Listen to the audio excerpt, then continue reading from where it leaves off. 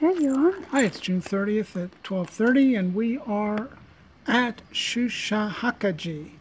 Shusshakaji is temple number 73, and the most famous thing about this temple, and Tali, if you pan around to the photo, to the painting, right opposite me, you'll see the most famous thing about this temple is the story of Kukai, who, at the age of seven, climbed to the top of this mountain and said, I want to enter the world of Buddhism and save many people.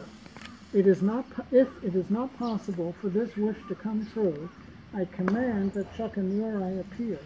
If not, I will throw away my life. He then jumped off this cliff right from this point, and that's what the, the painting commemorates.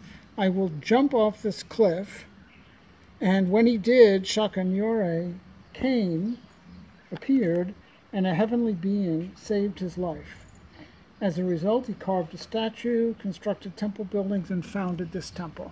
So this is really similar to the uh, Castaneda story of jumping off the cliff when Carlos uh, jumped off the cliff.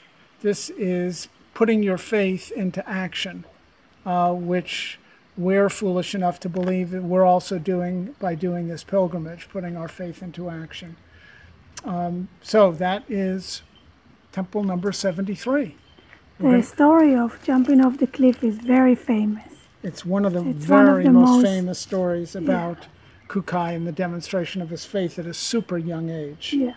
Uh, so we're going to go next to Temple 72, which is right down the hill from here, Mandaraji, and we'll talk to you from there. Bye bye. Bye.